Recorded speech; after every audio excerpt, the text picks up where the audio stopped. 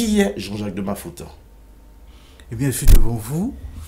Euh, je suis monsieur Jean-Jacques de je suis centrafricain, franco-centrafricain, et je suis avocat euh, au barreau de Paris depuis 1992.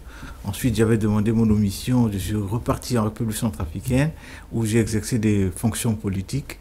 Et là, je suis revenu sur la France euh, avec l'intention de reprendre ma profession toujours d'avocat. Mais je viens de terminer une formation à l'Institut de hautes études de la défense nationale ici dans le cadre de la lutte contre le terrorisme. Voilà. Alors, d'après mes renseignements, euh, vous êtes venu faire des études, euh, vos études de droit euh, en métropole en 80, je ne me rappelle plus en quelle année. Oui. Et, et, dès cette, ces premières années, je dirais, vous aviez, vous vous êtes préparé, en fait, vous vous êtes formé pour aider, pour aider le peuple centrafricain. Donc, pour aider déjà une première, une première un premier pas, euh, pour les aider à avoir euh, les, les, étudiants euh, du Centrafrique à, Bangui d'avoir une bourse. Ça a commencé comme ça. En, fait, la lutte politique a commencé depuis, je dirais, les classes secondaires, voyez, depuis le lycée. Nous étions donc dans une organisation, dans un lycée à Bangui qui s'appelait le lycée Barthélemy Bouganda, où à l'époque nous avons avec les grands frères qui étaient déjà à l'université et certains professeurs, mené la lutte pour la chute de l'empereur Bokassa à l'époque. Donc euh, à ce moment-là, j'étais vice-président de l'association des élèves euh, du lycée Boganda et j'ai connu les premiers euh, débois politiques déjà et j'étais un peu engagé. Quand je suis arrivé en France, j'ai donc retrouvé des amis politiques ici et nous avons constitué donc un groupe et qui militait donc dans le cadre d'un mouvement qui s'appelait le MLPC que dirigeait M. Patassé à l'époque. Voilà que vous avez longuement travaillé avec lui. Vous avez été euh, ministre, ministre euh, de, de, M. Patassé Oui, j'ai été d'abord euh, bon, un de ses proches collaborateurs pendant la période d'exil. Hein. Nous avons été en exil de 1982 jusqu'en 1993. en ce moment-là, on était au Bénin et au Togo. Je l'avais laissé là-bas, je suis venu en France, j'étais devenu avocat, il m'a rejoint à Paris et ensuite nous sommes repartis à Bangui et nous avons mené campagne et il a gagné les élections. J'ai été l'un de ses proches collaborateurs. J'ai été son conseiller personnel. Euh, j'ai été chargé des affaires diplomatiques et des affaires de sécurité.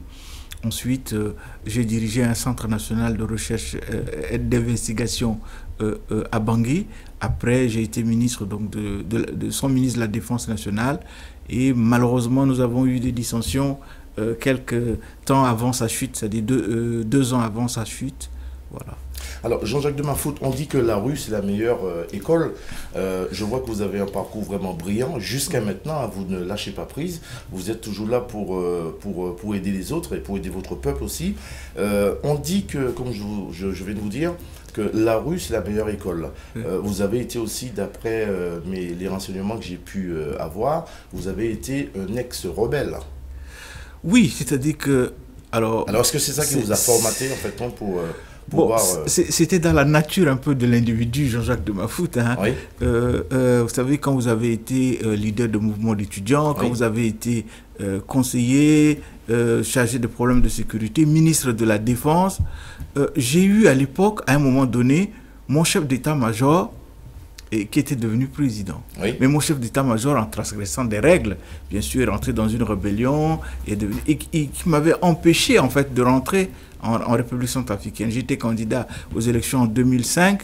Il m'avait empêché euh, de, rentrer. J'ai fait une campagne radiophonique et euh, j'ai eu 5% de, de, voix. Ça m'a un peu euh, mis en colère et euh, un mouvement de rébellion qui était donc dans le nord-ouest de la République centrafricaine m'avait demandé de les représenter dans des discussions pour des accords de paix, ce que j'avais accepté et, je l'ai fait. Et nous avons trouvé un accord de paix avec le président Bouzizé et je suis rentré en République centrafricaine, mais je n'ai jamais été ministre dans son gouvernement. D'accord. Sous, sous, sous, son règne, j'ai été euh, plutôt euh, expert auprès des Nations Unies J'étais consultant au bureau du PNUD à Bangui et ensuite au bureau des Nations Unies à Bangui.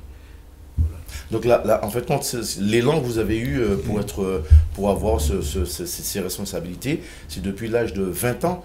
Euh, lors de vos études, vous étiez déjà, vous étiez déjà le leader, un leader, un bon leader. Voilà, en, fait, depuis l'âge de 16 ans, j'étais déjà activiste politique. Hein.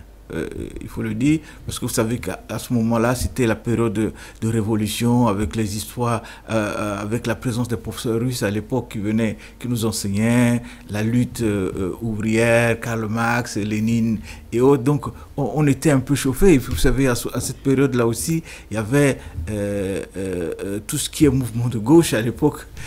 Donc, j'étais déjà un activiste. Donc, ça m'a permis d'être très engagé euh, auprès de la jeunesse centrafricaine et auprès des populations centrafricaines.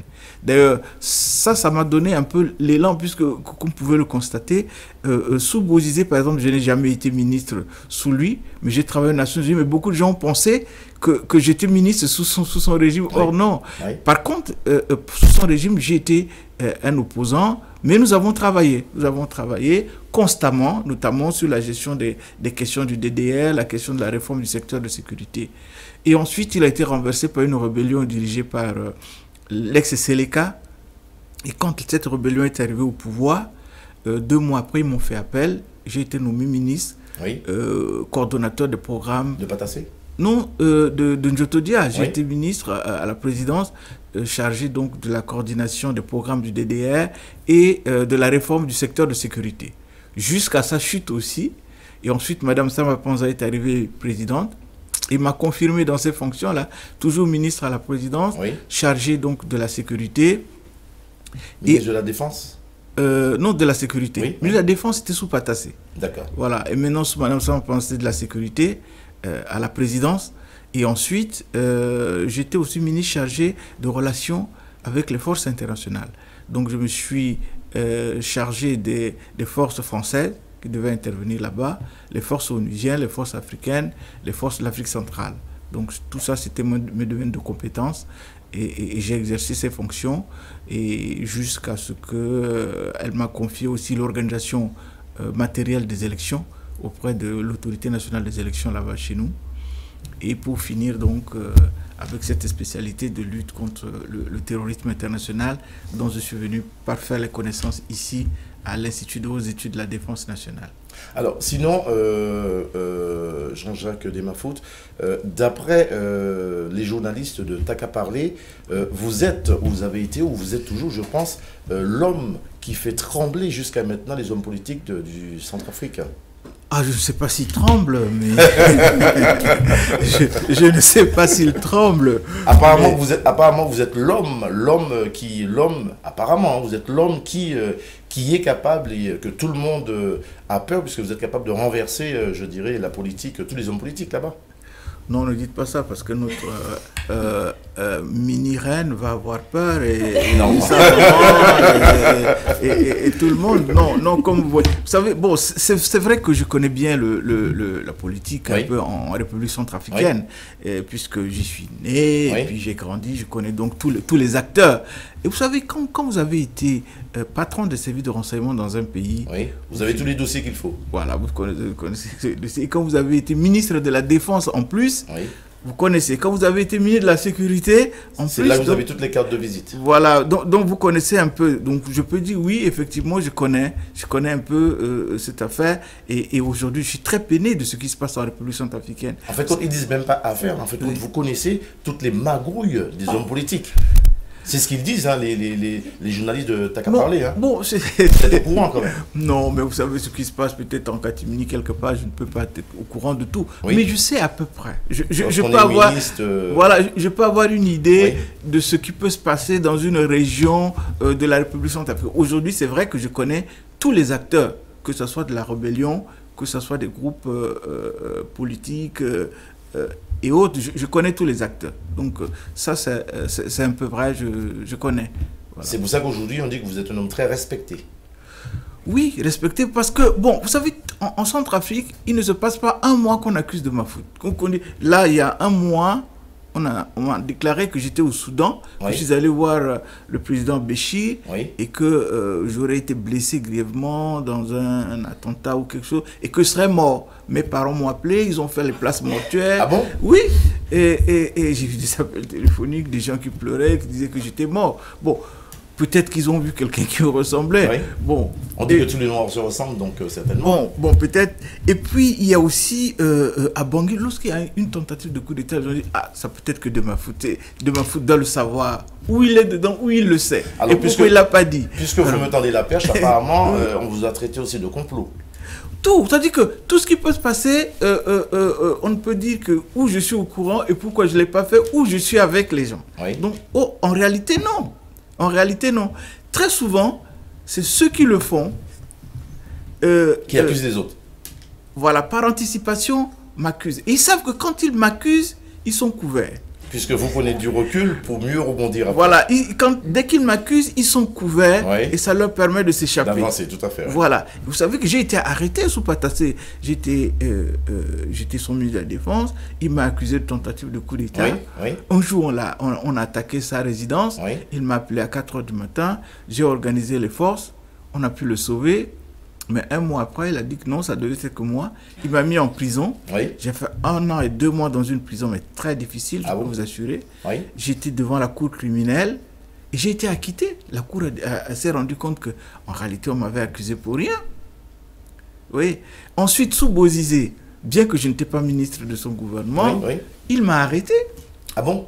Oui, il m'a mis en prison. Il m'a accusé, il m'a dit que, que j'étais à la tête d'une rébellion pour venir le, le chasser.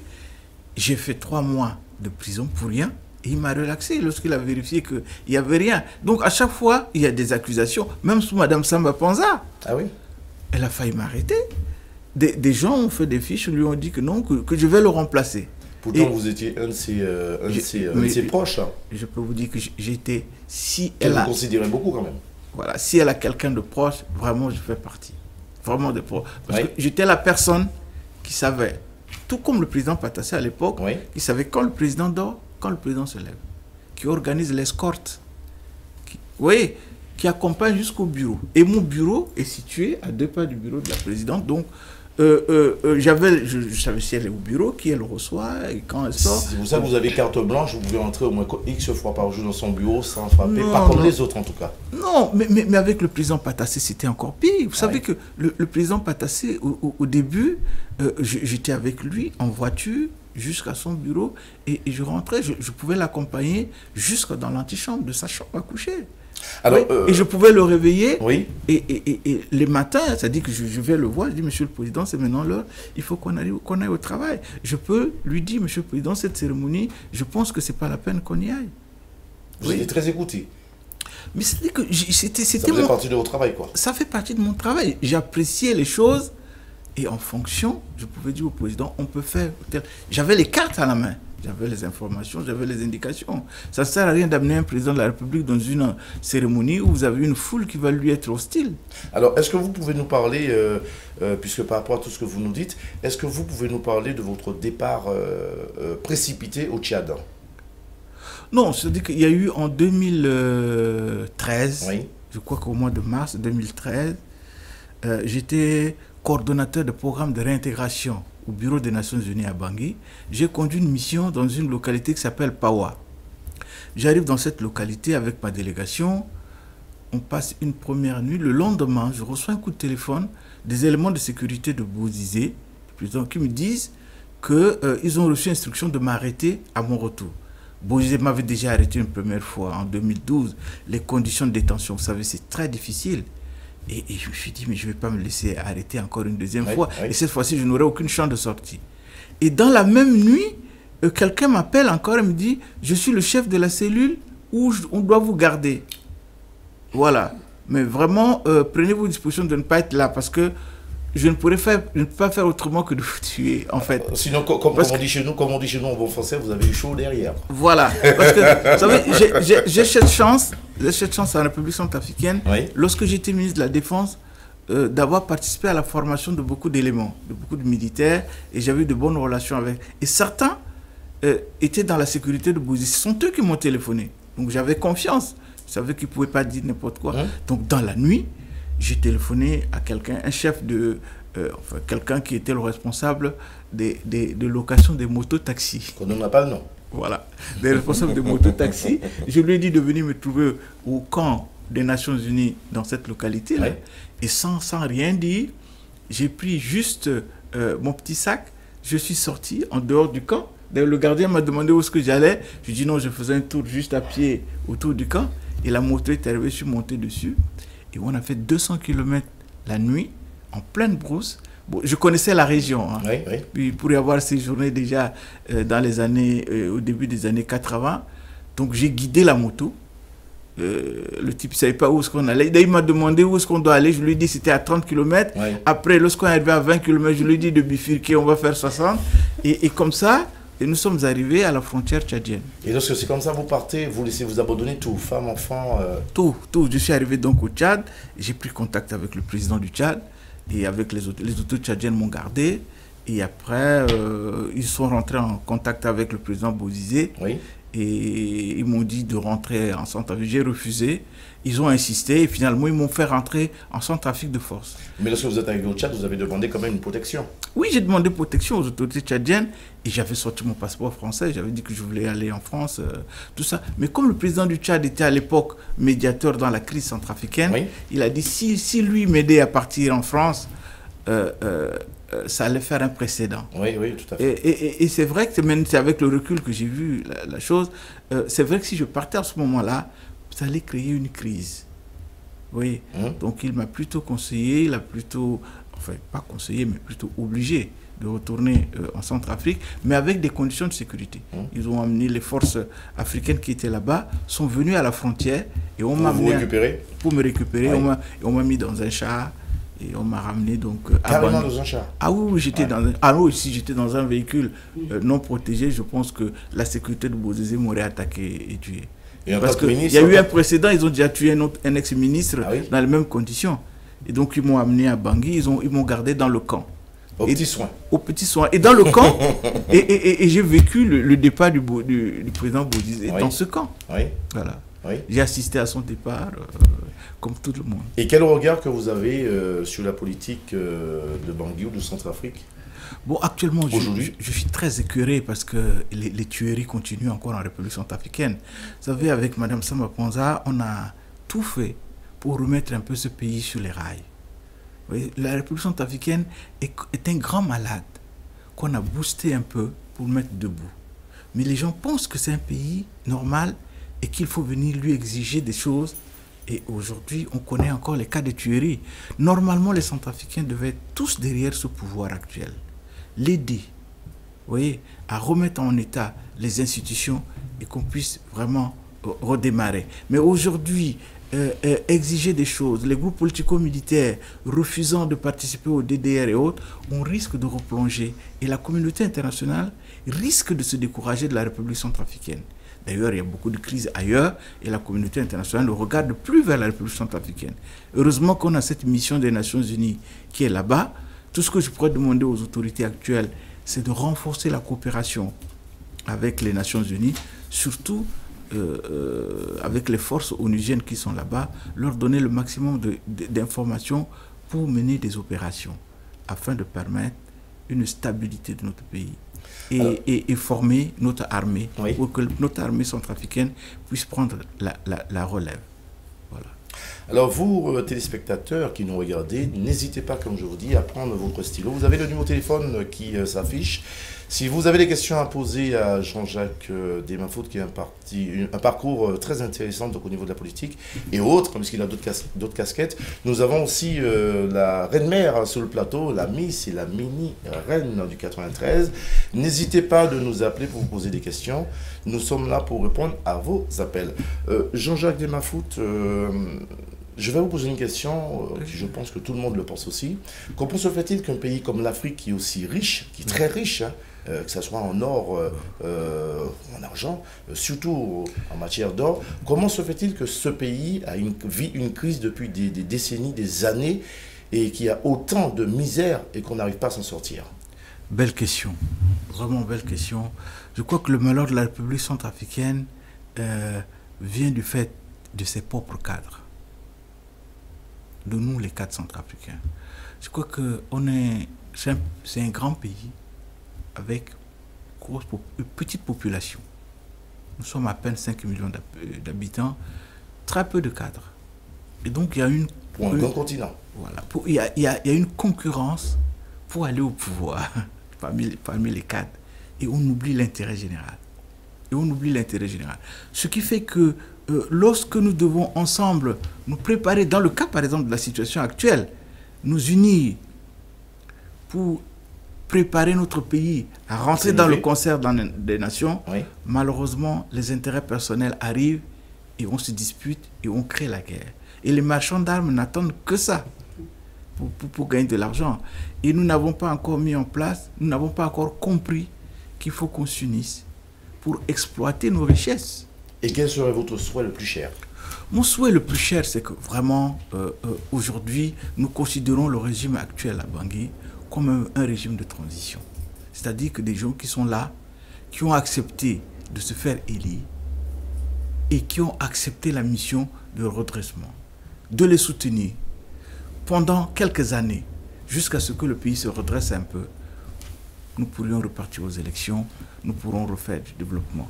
Mais, mais, mais, essayer aujourd'hui d'exiger quoi que ce soit et aujourd'hui demander le départ des Nations Unies serait une erreur catastrophique. Et vous voyez repartir euh, au Centrafrique, à Bangui, pour reprendre les rênes en main, puisque vous êtes toujours euh, euh, président d'une partie de Nouvelle Alliance. Euh, oui. pour le progrès. Oui, je vais, je vais repartir en République centrafricaine. D'ailleurs, je vais soutenir le gouvernement dans l'organisation d'une table ronde euh, euh, à Bruxelles. Le gouvernement doit venir, je crois, le 17 novembre à Bruxelles pour une table ronde avec les bailleurs de fonds. Je vais y être. Et ensuite, je vais repartir euh, en République centrafricaine. Mais cette fois-ci, je vais quand même garder mon cabinet à Paris. Oui, parce que vous êtes, vous êtes aussi, euh, vous êtes aussi euh, avocat, inscrit au barreau de Paris. Ça, c'est le métier, ça, c'est mon métier pour la retraite. C'est-à-dire que la, la, la, politique, c'est aléatoire. Vous savez, je ne suis pas fonctionnaire de l'État. Donc moi, je suis avocat, je gagne ma vie euh, par, par, par, ma fonction d'avocat. Donc je, vais à Bangui, mais je garderai un cabinet ici et peut-être que j'ouvrirai un cabinet secondaire à, à, Bangui. Donc je serai toujours le va-et-vient entre Paris et, et, Bangui. Et vous pensez que vous aurez euh, du temps à consacrer euh, à l'association, à, à, la Reine-Mère et à la Minirette du 93 en tant qu'avocat si, si, si elles ont besoin de vous?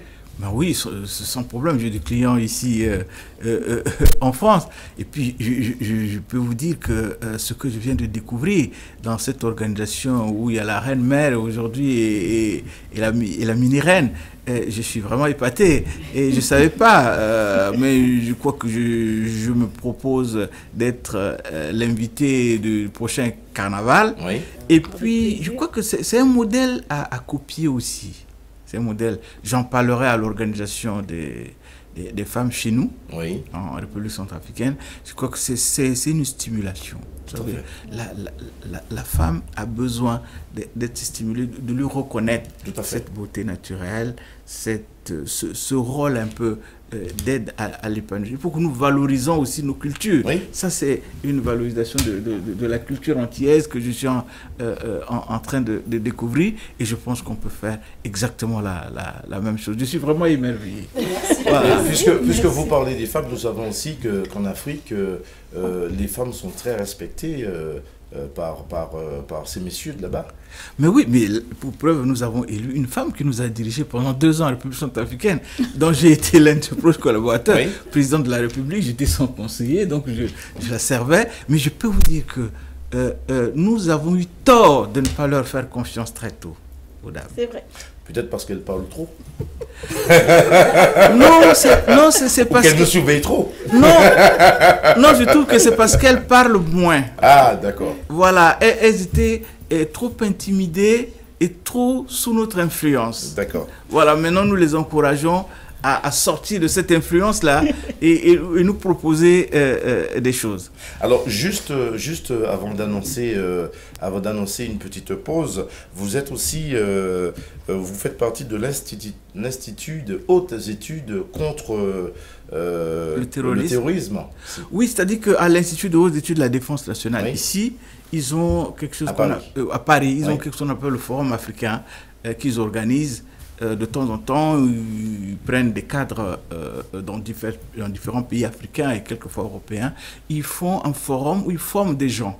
Cette année, ils nous ont formés, j'ai été sélectionné et nous avons été formés pour la lutte contre le terrorisme. Donc je fais partie d'un réseau de gens qui se concertent un peu euh, euh, pour la lutte contre, contre le terrorisme. Voilà, c'est la dernière formation que je, que je, que je viens d'avoir euh, maintenant. Et, et, cette formation, je la mets donc au service de l'Afrique. Et j'appartiens à une organisation régionale qui s'appelle la CEAC. E donc je mettrai à disposition de la CEAC e au sein de, à disposition de l'Union africaine et nous essayons de faire en sorte que le fleuve du terrorisme ne puisse pas avoir vraiment pied euh, euh, en République centrafricaine ni dans les autres pays, même si aujourd'hui nous avons beaucoup Haram au, Nigeria Et, au Cameroun, et eh bien avec mes collègues et autres, nous échangeons les informations et nous prenons les dispositions pour éradiquer ce, ce fléau.